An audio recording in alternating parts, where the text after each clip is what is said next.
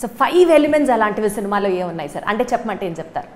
And and the universe the film water that's never before లాగా ఉంది. At least on Indian screen right because the way we shot on water right చాలా కష్టపడ్డాము. చాలా కొత్తగా ఉంటుంది. And he himself is you know phenomenal అంటే ఆయన ఎప్పుడు అలాంటి అవతారంలో చూడలే. అంటే అగ్రెసివ్ అవతారం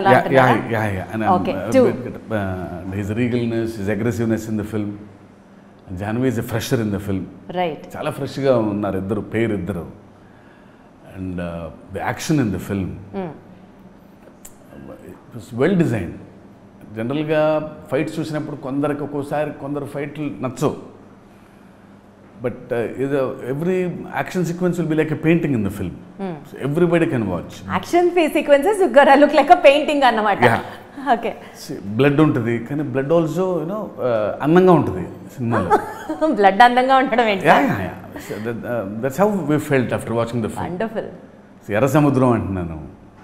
స- సముద్రం డెడ్ సీ అంటే ఎర్ర బడుద్ది రక్తంతో.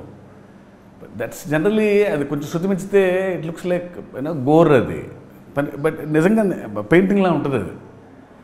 So there are too many factors like this in five చెప్పమంటే అవ్వదు. టూ మెనీ ఫ్యాక్టర్స్ అని. అంటున్నారు మీరు. నేను అదే అనుకున్నా ఇంత వైలెన్స్ ఉంటే మరి ఉమెన్ ఆడియన్స్ ఎలా ఎంజాయ్ చేస్తారా ఎంటర్టైన్ అవుతారా ఇంత వైలెన్స్ వైలెన్స్ వైలెన్స్ అని అంటే దాన్ని మీరు పెయింటింగ్ అని ఒక్క మాటతో చెప్పేశారు.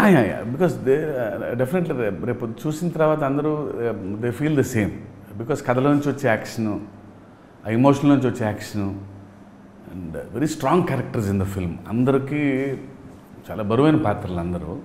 చాలా ఈగర్గా వెయిట్ చేస్తున్నాం yeah, సార్ మీరు చెప్పే కొద్దీ.